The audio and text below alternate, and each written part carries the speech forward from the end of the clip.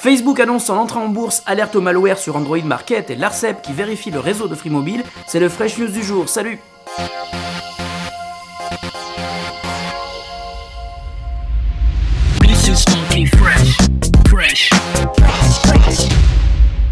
Fresh News vous est présenté par Tâche d'encre, conseil en communication web, print, objet et textile.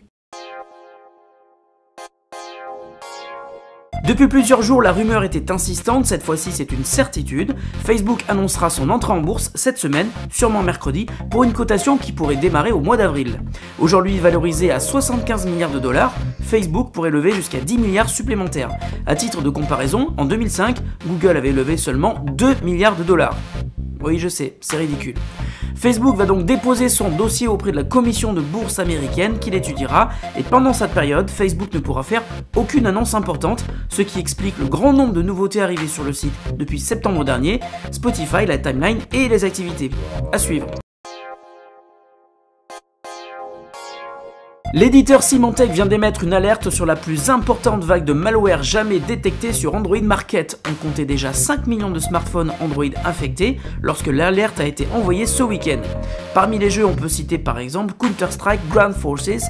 Symantec estime que les trois éditeurs qui ont distribué des jeux infectés l'ont fait en piratant les jeux originaux et en les repackageant en y intégrant le malware Android Counterclank. 5 millions de victimes qui font à nouveau les frais d'une absence de filtrage des applis en vente sur l'Android Market. Depuis l'arrivée de Free Mobile sur le marché, les opérateurs concurrents s'interrogeaient sur la capacité réelle du réseau du nouvel arrivant et la qualité de ses services.